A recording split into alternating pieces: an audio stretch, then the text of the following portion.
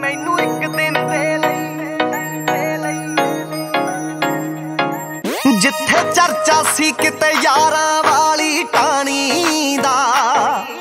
ਜਿੱਥੇ ਖਾਬ ਸਜਾਇਆ ਮੈਂ ਸੀ ਮੇਰੀ